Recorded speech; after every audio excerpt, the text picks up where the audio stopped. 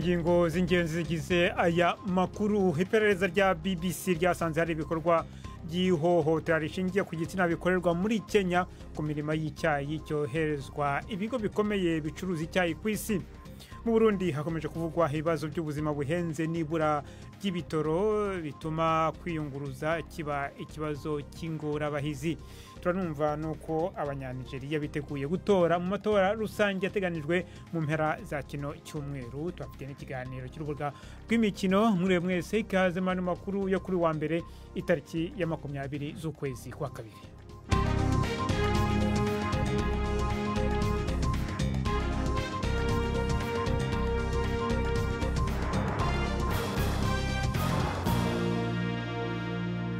Ayo makuru yose ndetse n'ayandi ku buryo burambuye ni mu kanya. Faranga kwaya amaze kutugezaho muri make amakuru y'ingenzi avugwa hirya no hino ku isi. Umukuru w'amerika joe biden yagize urugendo rutunguranye i kiev ku murwa mukuru wa ukraine atangaza ko intambara vladimir putin w'uburusiya yashoje yo kwigarurira ukraine iri kuneshwa. Mu ijambo yavuze ari kumwe na mugenzi we wa ukraine volodymyr zelensky mbere y'uko muri iki cyumweru bibuka umwaka ushize uburusiya buteye ukraine joe biden yavuze ko putin yibeshye. Inyuma y'umwaka kiyev iracahagaze kandi ukraine iracahagaze. Demokarasi iracahagaze. Amerika iri kumwe namwe. Kandi isi yose iri kumwe namwe kandi muri ko muraronka inzinzi atanumwe yari yiteze kiretse mwebwe ubwanyu. Dufise icyizere kuruta ikindi gihe cyose. Ko muzoguma mwihagazeko. Icyo uburusiya bwashaka kwari ugufuta ukraine ku ikarata y'isi. Putin yibaza ko ukraine itagira intege. Kandi ko uburengerazuba butari urunani. Yibaza ko tuzocika intege vuba. Sinibaza ko ubu ari uko akibyibaza inyuma y'umwaka ikimenyamenya ni iki cyumba turi ngaha turi kumwe. Wewe n'abanyayikirene bose mwibutsa isi mutwibutsa ko umwidegembyo utagira igiciro. N'uwo kurwanira igihe cyose bizofata. Tuzoba turi kumwe namwe igihe cyose bizofata. Umukuru wa ukraine zelensky we yavuze yuko uru ari uruzinduko rukomeye mu mateka y'imibanire ya ukraine na amerika. Ati rubaye mu gihe abanyayikirene bari kurwanira ubwigenge bwabo. Abo bategetsi bombi bahise bajya kunamira abasirikare baguye mu ntambara uburusiya bwateye bukanigarurira crimea hashize imyaka icyenda. Umukuru w'amerika yamaze kuva i kiev akaba yasize atanze indi nkunga ya miliyoni magana atanu z'amadolari y'amerika. Abanyayisiraheli babarirwa mu bihumbi ijana bakoze imyigaragambyo mu gihugu hose igihe inteko nshingamateka yigaga umushinga w'itegeko watanzwe na leta ishyigikiwe n'abatsimbaraye ku matwara. Mbere abigaragambya bari bagiye hanze y'amazu y'abashingamateka kugira ngo babuze gusohoka. Banagiye kandi hanze y'inzu y'umushyikiranganje wa mbere benjamin netanyahu iri i yerusalemu. Imihanda minini na yo nyine yari yuzuyemo abo bantu bigaragambyaga bagenda baririmba ngo demokarasi demokarasi uyu mushinga w'itegeko nuramuka uciyemo uzambura ububasha urukiko rw'ikirenga ubuhe leta na cyane cyane mu bijyanye no gushyiraho abakozi mu rwego rw'ubucamanza. Umurwi w'abayobozi b'amatorero b'abangirikani watangaje yuko batakibona musenyeri mukuru wa canterbury justin welby nk'umuyobozi w'itorero ry'abangirikani ku isi nyuma y'aho afatiye icyemezo cyo kwemerera abahuje ibitsina gushakana. Abo bayobozi bayoboye amatorero agize ibice mirongo irindwi na bitanu ku ijana by'abayoboke bose b'itorero ry'abangirikani ku isi bararega itorero ry'abangirikani ryo mu bwongereza gufata inzira y'inyigisho z'ubuyobe. Ibintu bihabanye n'imyizerere ya bibiliya bari basanganywe. Baturuka ahanini muri afurika muri aziya no muri amerika y'amajyepfo. Mu ntangiriro z'uku kwezi gushize ni bwo inteko rusange y'itorero ry'abangirikane ryo mu bwongereza yemeje ko abahuje ibitsina bazajya bahabwa umugisha wo gushyingirana. Musenyeri mukuru justin welby yavuze ko yakiriye ibyo abo basenyeri bavuze ariko ko ntacyo bashobora guhindura ku itorero ry'abangirikani ku isi atabyemeje. Mukomeje kumva bbc gahuzamiryango muradukurikira kandi kuri kisoro fm muri uganda. Umuryango w'umunyamakuru uzwi muri sudani y'epfo yavuze ko wavuze ko ngo ufite impungenge z'uko yashimuswe ari muri kenya akaba yaranagaruwe ku ngufu muri sudani y'epfo. Hashize amezi agera kuri atatu ntawe uraca iryera maurice mabior nyuma y'aho afatiwe n'abantu bari bambaye imyenda y'abapolisi bo muri kenya. Bwana mabior unegura umukuru wa sudani salvakir yari yaratse ubuhungiro muri kenya. Ni inkuru ya emmanuel gunza mugezwaho na siriyake muhawe na yo. Maurice Mabior Awijok Bak yari karasaba ubuhungiro muri Kenya kuva ahunze ava mu gisagara avukamo ca Warap muri Sudani y'Epfo kubera guterwa ubwoba bwo kwicwa n'aboba ari abategetsi b'ako karere. Yari umuntu anebagura cyane perezida Salva Kiir umuryango wiwe ukaba utinya ko yoba yarasubijwe ijuba ku nguvu. Abategetsi ba Kenya n'aba Sudani ntaco barabivugako. Leta ya Sudani iragirizwa gucecekesha abo batavuga rumwe. Mu kwezi guheze abamenyeshamakuru batandatu barahagaritswe bazira videwo yakwiragijwe yerekana kir ariko yigira ko umwanda muto. Kuva ico gihe ntibarasubira kuboneka uretse ko amashyirahamwe yo muri ico gihugu ca sudani na mpuzamakungu aguma atera igitswe leta ngo ibarekure. Umutwe wa m makumyabiri na gatatu bivugwa ko ufashwa n'u rwanda wagabye ibitero mu ntara ya kivu y'amajyaruguru muri repubulika ya demokarasi ya kongo. Ibyo bitero byagabwe mu midugudu itanu iri hafi y'umujyi wa mweso uri ku muhanda mukuru w'iyo ntara. Ibitangazamakuru byaho biravuga yuko ibyo bitero bigabwe. Nyuma y'aho hagereye inkunga ivuye mu rwanda u rwanda ariko rukaba ruhakana ayo makuru avuga ko rufasha izo nyeshyamba. Umutwe wa m makumyabiri na gatatu umaze kwigarurira uduce muri iyo ntara ariko umuvuduko wari ufite wo kugana igoma mu minsi ishize ukaba umaze gukomwa imbere. Peter obi uje utunguranye mu bahatanira umwanya w'umukuru w'igihugu mu matora ateganyijwe kuri uyu wa gatandatu muri nigeria yashyigikiwe n'irindi shyaka rito adc african democratic congress. Birashoboka ko bwa mbere. Kuvaho ubutegetsi bugendera kuri demokarasi bugarukiye muri nigeria mu gihumbi kimwe magana cyenda na mirongo cyenda n'icyenda hakwitabazwa ikiringo cya kabiri cy'amatora kugira ngo haboneke uzayatsinda. Bwana obi avuga yuko ngo azatuma nigeria yongera gukora neza. Ikintu ubu cyumvikana mu gihe iki gihugu kiri guhura n'ikibazo cy'ibura ry'amafaranga jacques. Urakoze ferenga kwaya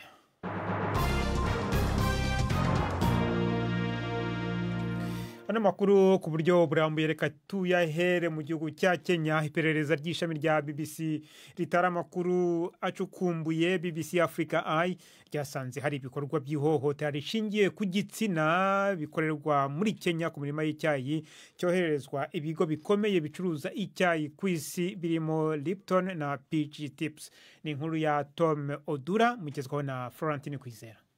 Kamera zihishe zafashe amasanamu y'abakoresha basaba ruswa y'igitsina abantu kugira ngo babone kubashyira mu kazi. Mu mirima y'icyayi y'ibigo bizwi cyane birimo n'icyitwa unilever.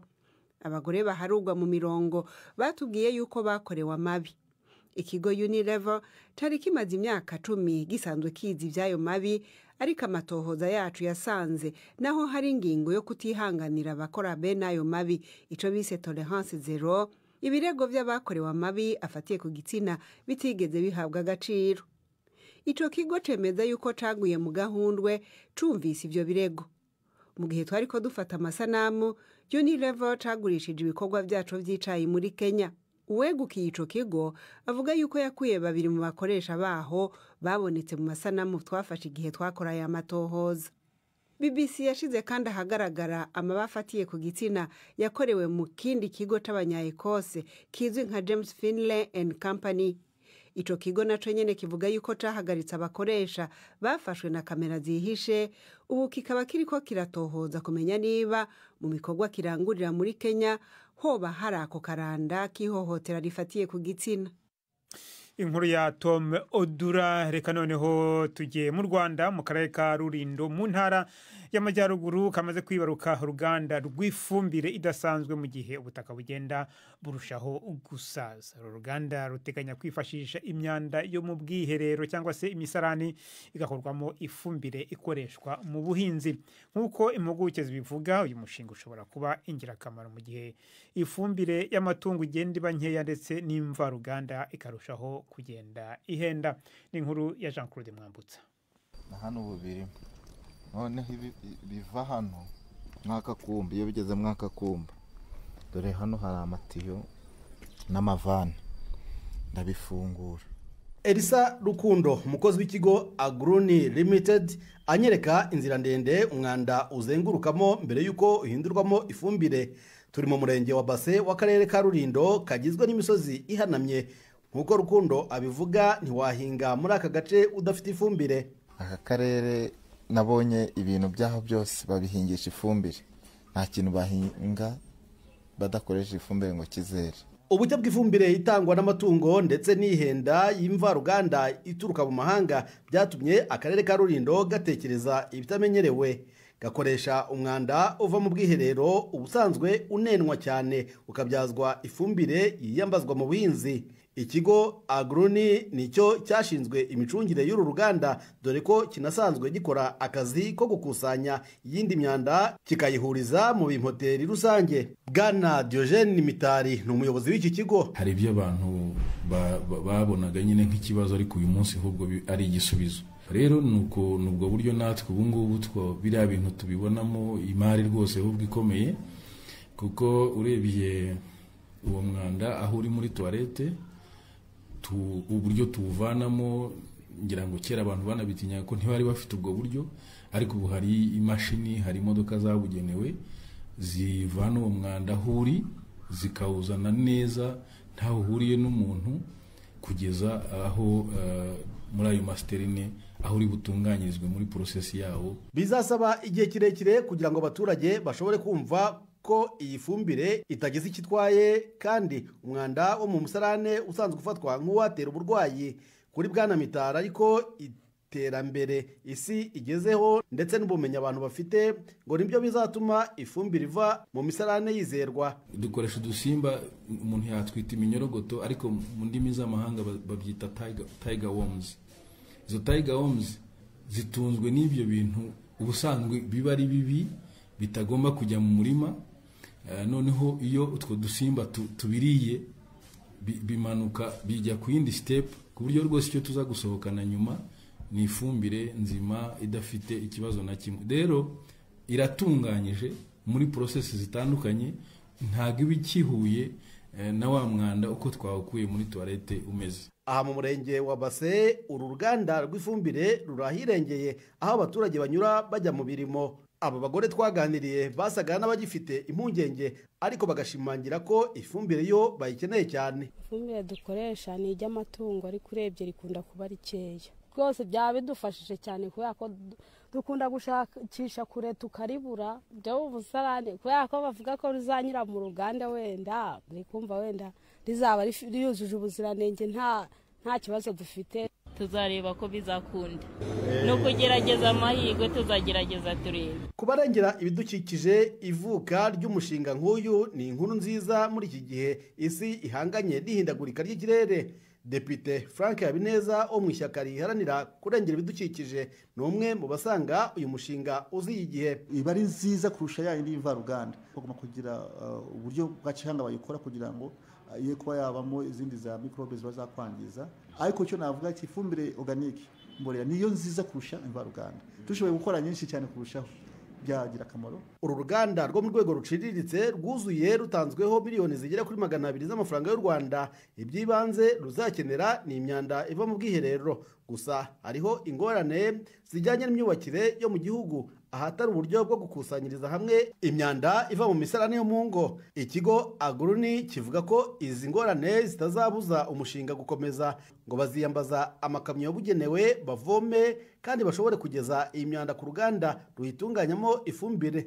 Naho ku bijyanye n'igiciro cy'ifumbire ingano yacyo ntiratangazwa.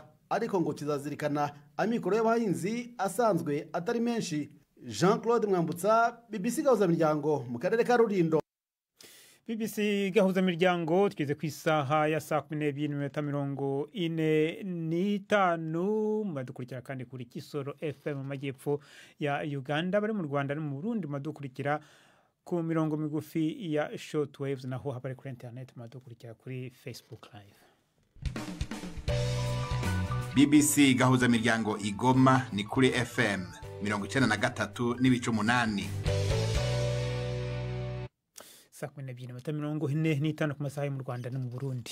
Mu burundi hakomeje kuvugwa ibibazo by'ubuzima buhenze n'ibura ry'ibitoro rituma gukora ingendo ku bagenzi kiba ikibazo cy'ingorabahizi kandi n'ibiciro by'ibyo kurya bikaba byarazamutse cyane. Ku nshuro ya mbere mu myaka hafi ine abanyamakuru ba bbc bemerewe kujya mu burundi gukora ibiganiro bitandukanye. Muri abo harimo na mugenzi wanjye Prime ndi ku magenge mu biro bya BBC Nairobi ubu akaba amaze kugarukaho i Nairobi. Twavuganye mu kanya ntangira mubaza uko ikibazo cy'ibitoro cyifashe. Imbere y'uko nshika kuri icyo kibazo cy'ubukene bw'ibitoro reka mbanze nakubwira yuko i Bujumbura muri ino minsi hari ubushuhe budasanzwe ku murango igipimo cyerekana dogere zirenga mirongo itatu. Hakaba rero n'izuba rimena imbwa agahanga nk'uko mu kirundi babivuga. Ibyo ndabihereye ko kugira ngo nshike kuri icyo kibazo cy'ibitoro kuko iyo ubwo bukene bw'ibitoro buhari abantu benshi baca bategerezwa kugenda n'amaguru mu gihe amakinga n'amapikipiki bahora bikora ko umwaka ugira uhere abujijwe gushika mu bice bitari bike by'igisagara cya bujumbura.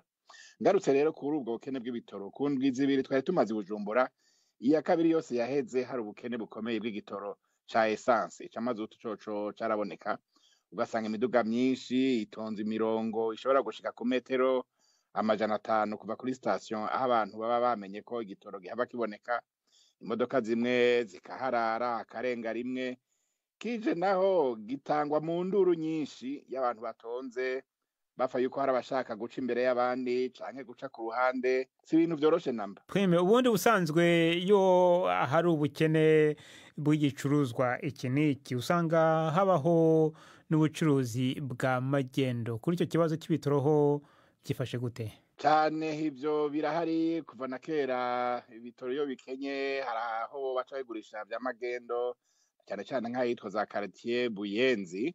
Ariko hari igihe rero n'ibyo bya magendo umenga bisa n'ibyamenyerewe ku mugaragaro nko ku ndwi iheze naragiye mu gatumba ku mupaka ugana mu gisagara cya uvira muri congo. Aho rero uhasanga imiduga myinshi yaje kurindira igitoro kirangurwa hakurya kikaza mu mabido canke mu macupa yavuyemo amazi. Abantu bita ibibuni aho rero igiciro gihindagurika buri mwanya bivanye n'ingene vyoroshe canke vyagoranye kukizana iritiro rishobora kuva ku bihumbi bitandatu rikarenza ibihumbi icumi mu mafaranga y'amarundi kandi ku bisanzwe iyo igitoro kihari iritiro ari ibihumbi bitatu n'amajana abiri na mirongo itanu. Urumva yuko hari igihe rishobora kwigwiza na kabiri canke na gatatu. Mu minsi ishize banki nkuru y'igihugu cy'u Burundi yavuze ko ibiciro by'ibicuruzwa byazamutse bigera ku rugero rutari rwaboneke mu mateka y'u Burundi mwasanze byifashe bite ubu ngubu?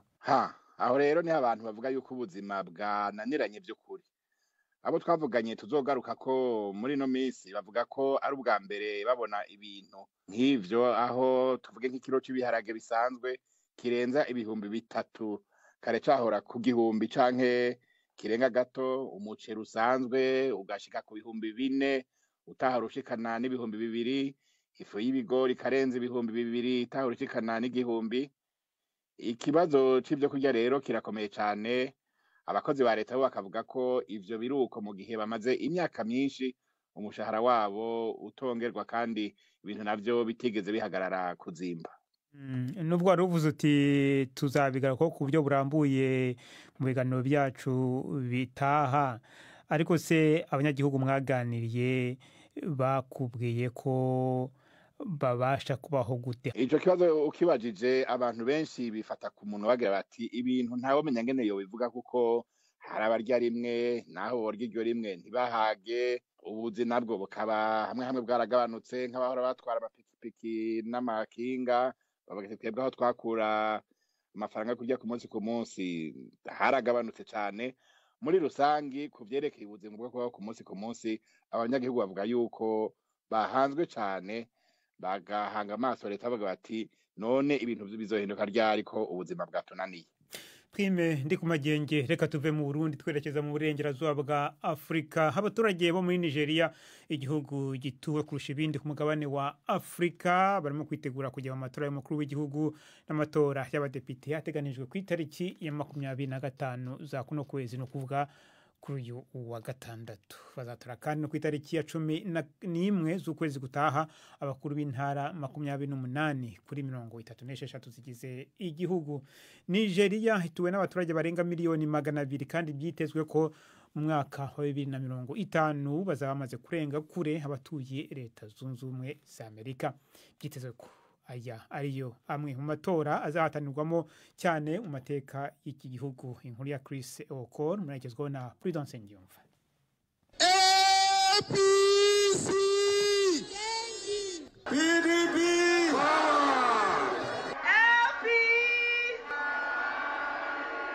aya ni amatora rusange akozwe ku nshuro ya karindwi muri nigeria kuva igihugu cyava mu gihe cy'ubutegetsi bwa gisirikare mu mwaka wa 1999 abantu benshi hano bizera ko amajwi yo ku itariki ya makumyabiri n'eshanu z'ukwezi kwa kabiri azaba yegeranye cyane. Ni amatora akozwe mu gihe cy'ibibazo by'umutekano muke mu gihugu n'ubukungu bumeze nabi. Hari byinshi bishobora kwangirika cyane ko nigeria ari cyo gihugu cy'ubukungu buruta ubundi ku mugabane wa afurika kandi ni cyo kigemura peteroli nyinshi kuri uyu mugabane. Madamu faith nwadishi ni umuyobozi w'ikigo giharanira gukorera mu mucyo center for transparency advocacy. Mperutse kugenzura uturere dutanu dufise ico duhuriye ko muri politike hirya no hino mu gihugu. Impungenge ni zimwe. Barakeneye ibigo by'abajeje umutekano vyotuma abagiye mu matora bumva ko batekanye ko ivyabo bizokingirwa igihe bazoseruka bakaza gukoresha uburenganzira bwabo mu gutanga amajwi. Izindi mpungenge bafise ni ukwibaza nimba aya matora azoba yizewe. Muri aya matora hari abakandida cumi n'umunani bahatanira kuba perezida. Ariko mu by'ukuri batatu nibo bafite amahirwe yo kuba batora niharamuka ntawe utsinze ku buryo budasubirwaho ku cyiciro cya mbere icyiciro cya kabiri cy'amatora kizaba mu byumweru bibiri. Ubukungu ni cyo kibazo cy'ibanze uzatsinda wese azaba ahanganye na cyo. Nigeria iri mu bibazo bikaze by'izamuka ry'ibiciro. N'ifaranga ryataye agaciro ku buryo bukomeye. Mu gihugu aho kimwe cya gatatu cy'abaturage batagira akazi. Ubwo rero nta gitangaje ko benshi hano bizera ko umutegetsi mushya azazana impinduka. Impamvu urubyiruko runagize mirongo itatu na gatanu ku ijana by'abaturage batora muri aya matora rudashaka gukora amakosa ni uko bababaye niyo mpamvu abanyanigeriya batiteguye kwirara kuri iyi nshuro. Nta na rimwe twigeze dukora ibintu neza mu matora yose yakozwe muri iki gihugu kandi nta na rimwe twabonye umuyobozi mwiza. Urubyiruko rero rwabifashe nk'inshingano yarwo yo kuzahura igihugu.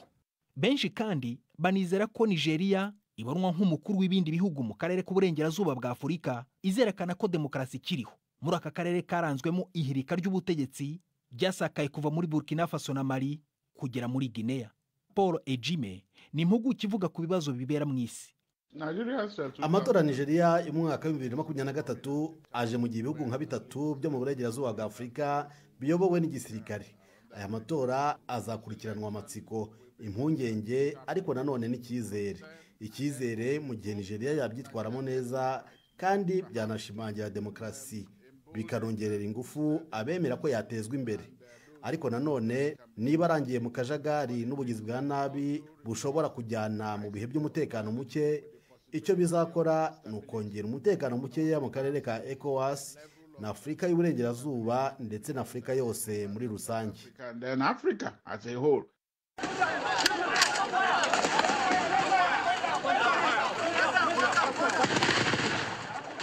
Imvururu zikurura urugomo si ikintu gishya muri nigeria. Kandi impungenge ziracyariho ko aya matora ashobora kurangwa n'urugomo ku buryo budasanzwe. Igihugu kirimo uruhuri rw'ibibazo by'abantu bafatwa bugwate hagamijwe gusaba ingwate kandi guverinoma iri kurwana n'ibitero by'abarwanyi ba kiyisilamu mu bice by'amajyaruguru y'igihugu. Biteye inkeke y'amatora cyakora komisiyo y'igihugu y'amatora yabwiye bbc ko yashyizeho uburyo bwo gukora amatora atekanye anyuze mu mucyo kandi no mu bwisanzure. Ariko rero igihe ni cyo kizaca urubanza mu kumenya niba koko byaragezweho.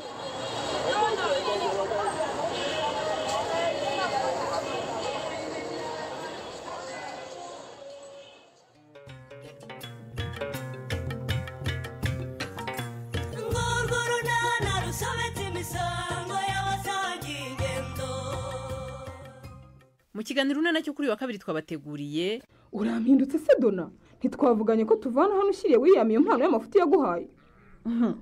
Kuhigimye se erega wabonye nakwihora ugira ngo?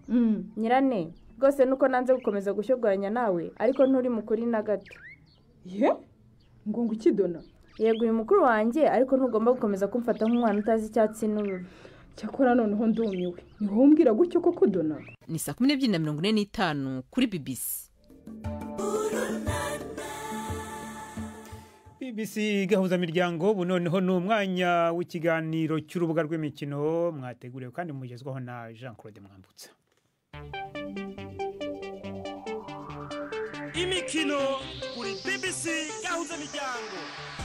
Mwiriwe neza nshuti mudukurikiye kaze muri iki kiganiro cyacu cy'imikino duhereye mu isiganwa ry'amagare turu di rwanda. Ubu rigeze ku munsi waryo wa kabiri. Nk'uko byagenze ku munsi w'ejo mwongereza ethan venon akomeje kuyobora isiganwa nyuma yo kwegukana agace ka kabiri karyo kasorejwe gisagara mu ntara y'amajyepfo. Inkuru irambuye reka tuyibaze mugenzi wacu ive bucyana. Umwongereza ethan vernon ukinira ikipe ya sudal quick step yo mu bubirigi yakoresheje amasaha atatu iminota makumyabiri n'umwe n'amasegonda mirongo itatu mu gusiganwa ku ntera y'ibirometero ijana na mirongo itatu na bibiri n'ibice icyenda kuva mu mujyi wa kigali kugera mu karere ka gisagara mu majyepfo y'u rwanda. Ibyo bihe yakoresheje kandi ni na byo bibarirwa abamukurikiye bagera kuri mirongo ine na batanu bivuze ko yabarushije gusa kurenga umurongo wa nyuma. Vernon w'imyaka makumyabiri yegukanye agace ka mbere k'iri siganwa kakinwe ku munsi w'ejo ka kigali rwamagana.